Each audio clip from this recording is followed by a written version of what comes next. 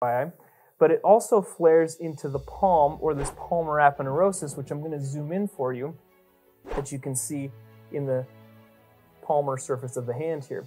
Some of you are losing muscles, and I'm not talking about because you're sitting on your gluteus maximus all day long, watching amazing anatomy videos on YouTube. I'm talking about that you were never even born with them.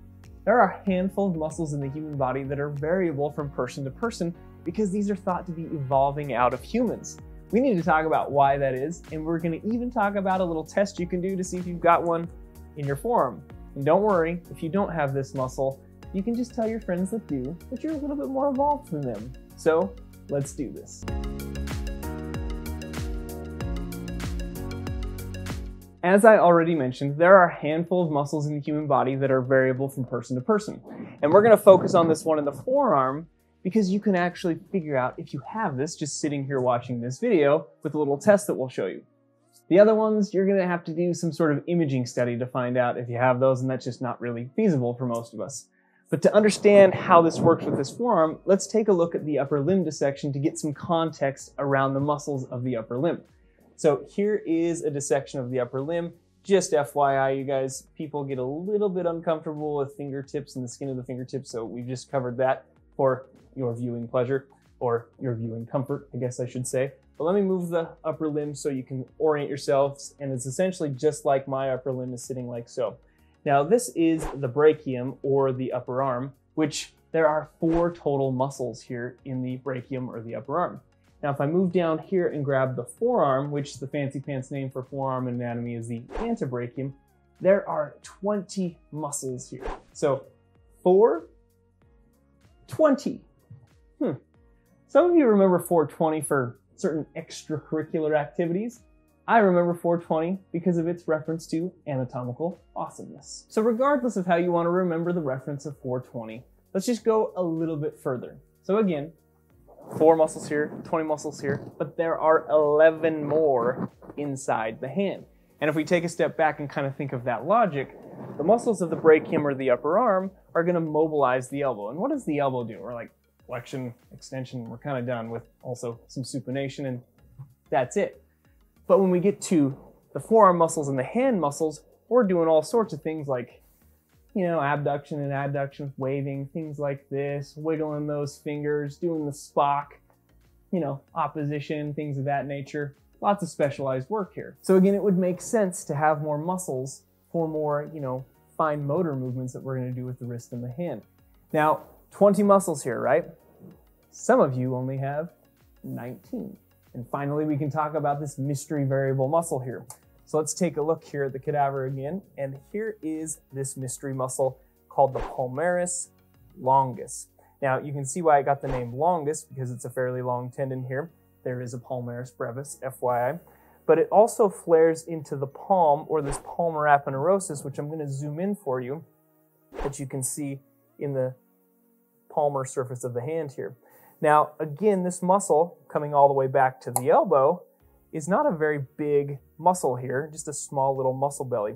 So not a very powerful muscle, but what does it do? This palmaris longus muscle can weakly help flex the wrist. I say weakly because there are other muscles that are much more powerful and stronger with flexing the wrist.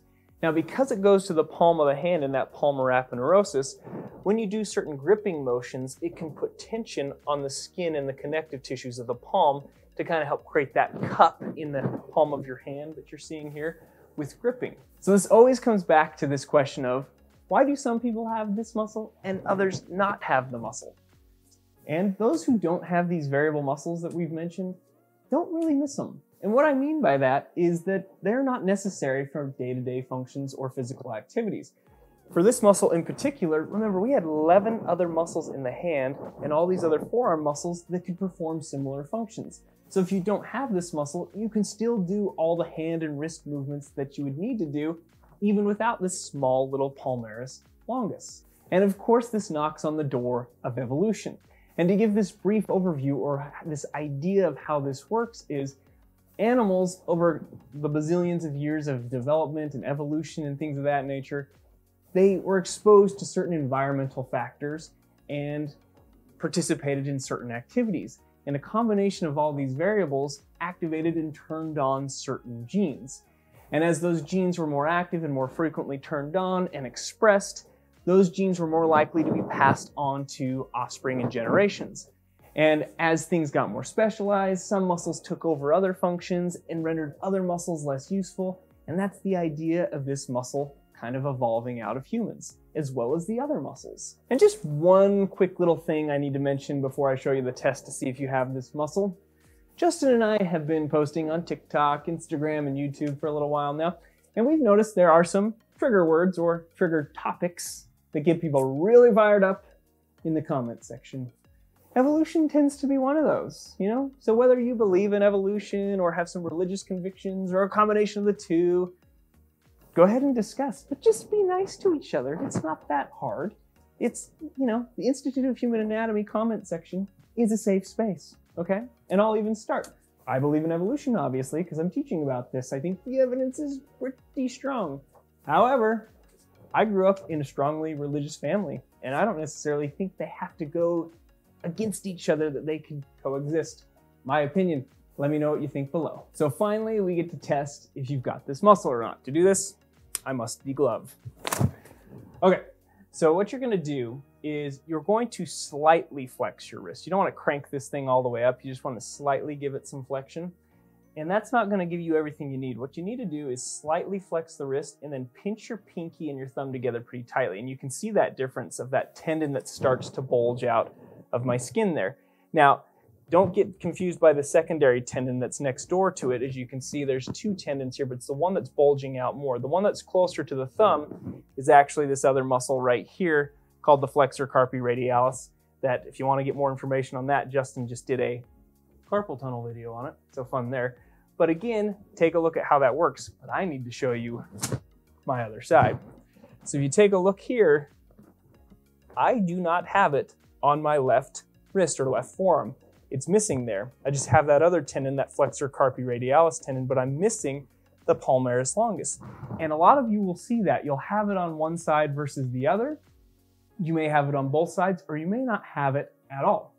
And again, like I mentioned at the beginning of the video, if somebody tries to make fun of you for not having a palmaris longus, your rebuttal is that you are a little bit more highly evolved than them.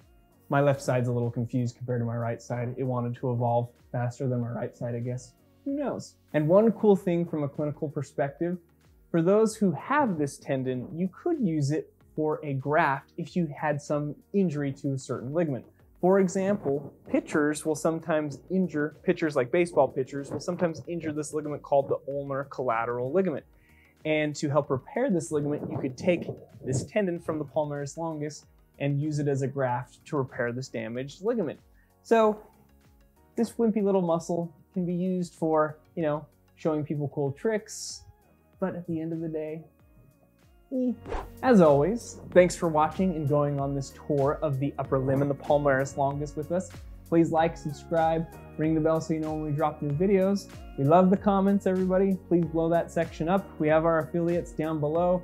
We love and appreciate all of your support and have fun testing your palmaris longus with your friends and family. I don't know what that was. Like spirit fingers has nothing to do with palmaris longus. Okay, bye.